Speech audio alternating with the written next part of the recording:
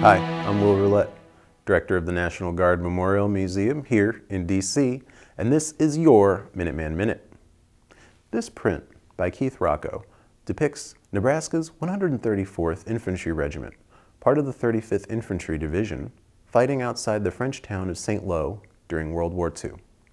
The 35th Division landed at Omaha Beach on July 5, 1944, a month after D-Day, and joined the fighting for St. Lo, a strategic crossroads.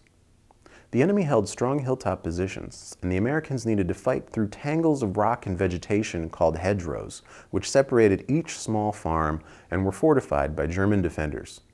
On July 15, 1944, the Cornhuskers of the 134th, led by future Chief of the National Guard Bureau Butler B. Miltonberger, attacked.